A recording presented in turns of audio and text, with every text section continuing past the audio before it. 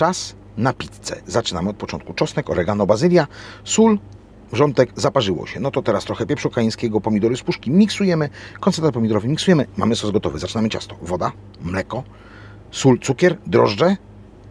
O właśnie, drożdże. Dodajemy rozmieszane świetnie. To teraz do tego mąka. Zaczynamy wstępnie wyrabiać ciasto. Najpierw pół mąki, później drugie pół mąki. Wszystkie składniki macie jak zwykle na końcu. No i teraz wstępnie wyrobione ciasto, no to olej. No to teraz czysty blat, mąka i 10 minut memlania, przynajmniej 10 minut memlania ciasta.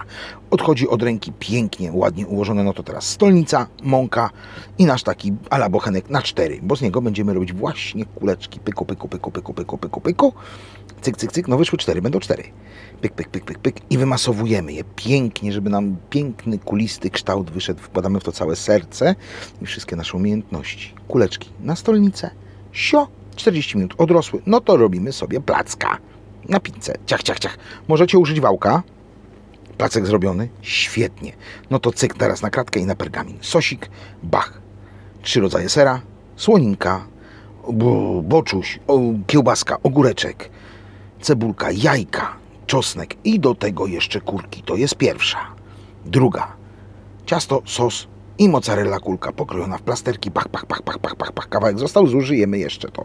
Do tego pomidorki koktajlowe, wiśniowe i krewetki. I na ten moment to jest tyle. Następna. Sos, ser, no oczywiście ciasto. Słoninka, salami, papryka kolorowa. To nie jest ostra papryka. Reszta kurek, trochę cebulki i też ogóreczek kiszony. Fajt. Ostatnia, taka na wypasie.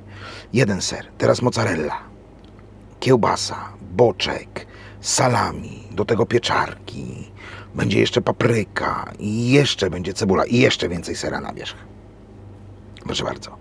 10-12 minut w piecu na 230-250 stopni, a najlepiej na maksa, bo są i 300 teraz. I nasze pizze wychodzą teraz do krewetek tylko odrobinka bazylii i już jest też gotowa po upieczeniu. No to jest ta trzecia, czwarta w zasadzie też upieczona i ostatnia też z ogóreczkiem kiszonym upieczona.